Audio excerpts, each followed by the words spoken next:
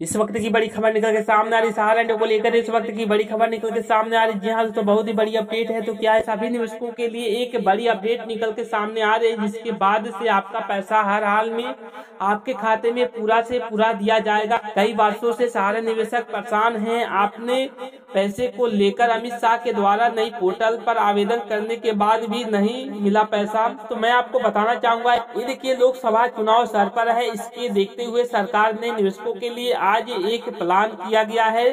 तो चलिए जानते हैं क्या है बड़ी अपडेट। तो भाई, आप लोग बने रहेगा देखिए, सहारा को लेकर एक बड़ी अपडेट। जो भी लोगों का पैसा सहारा में फंसा हुआ है, उन सभी लोगों के लिए अच्छी खबर सामने निकल कर आ रही है। सरकार ने अभी अभी कहा है कि पिछले 24 घंटे के अंदर करीब 200 से ज़्यादा लोगों को पैसा रिफंड की प्रक्रिया शुरू कर दिया गया है, जिसके बाद से जो लोगों को पैसा खाते में आया, उनके चेहरे पर खुशी दिखाई दे रही है। अब उम्मीद है कि सभी का पैसा आने वाले लोकसभा चुनाव से पहले हर हाल में दिए जाएगा, जो पाँच हज़ार करोड़ सेवी के द्वारा दिया गया था, जिसमें से 200 करोड़ है अभी तक रिफंड हुआ है। तो कहीं न कहीं निवेशकों के लिए एक चिंता का विषय है, जिसके चलते कई राज्यों में प्रदर्शन भी कर रहे हैं। इसी को देखते हुए अमित शाह एवं केंद्र सरकार यह फैसला लिया है कि निवेशकों को भुगतान देश का बड़ा मुद्दा है और वह नहीं चाहेगी कि चुनाव में कोई भी प्रकार की दिक्कत हो, इसलिए हर हाल में पैसा का रिफंड शुरू कर रही है।